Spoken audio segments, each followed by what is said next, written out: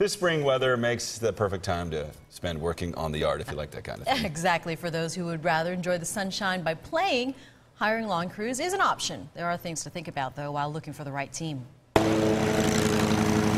It used to be that everyone cut their own grass. Not anymore. For many people, the days of mowing lawn might be in the past. According to a recent Angie's List survey, 48% of the members said they're going to outsource their lawn care this year. Some people are simply too busy to keep their yard looking nice. Others, like Tammy Futa, want an expert in charge. We were wanting to make sure that we had green grass. That was the objective. The Futas moved from a condo three years ago to a home with a brand new yard that needed a lot of help.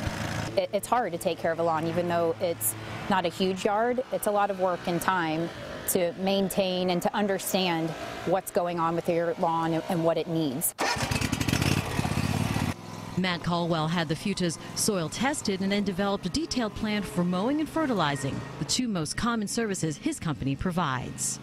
A lot of times we can apply an application for less than what it would cost you to go down and buy the product and the equipment to do so. Most companies offer seasonal contracts for mowing and fertilizing. Get on site quotes from three different providers and ask if different services like grub control and aeration are included or cost extra. Also, find out if the same person will be servicing your yard each visit. It's very important to have the same technician on your lawn each time. They know your expectations, they know what you're expecting, they know the property where there's high spots, low spots, uh, where there may be some troubled areas.